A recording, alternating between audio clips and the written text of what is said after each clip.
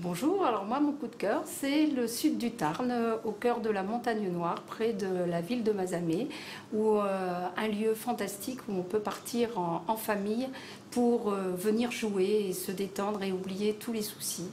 Euh, rencontre des objets divers, donc ce joli petit chien qui peut marcher tout seul, qui fait du, bruit, et en même temps se lancer des défis autour de, jeux, des billards, des, jeux de, construction, et donc on oublie complètement la notion d'âge et on rencontre euh, des jouets très anciens, des jouets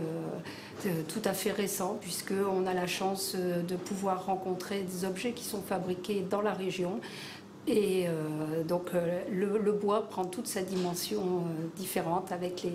avec les jouets et même les enfants, s'ils le pensent à, le demander, peuvent venir fabriquer leurs jouets. Donc c'est vraiment un coup de cœur pour oublier les, jeux, les jeux vidéo ou autres, euh, ce qui a rien contre la vidéo, mais euh, on retrouve le, travail fait à la main et ça peut être très intéressant. Petits, grands, euh, les adultes oublient complètement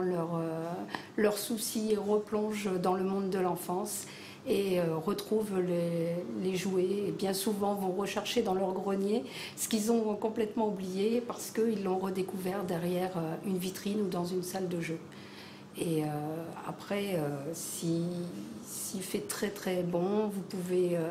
aussi aller jouer dans, dans, les extérieurs avec les rencontres autour des, des personnages de notre enfance, les contes. Et c'est un fabuleux moment d'échange au niveau des familles.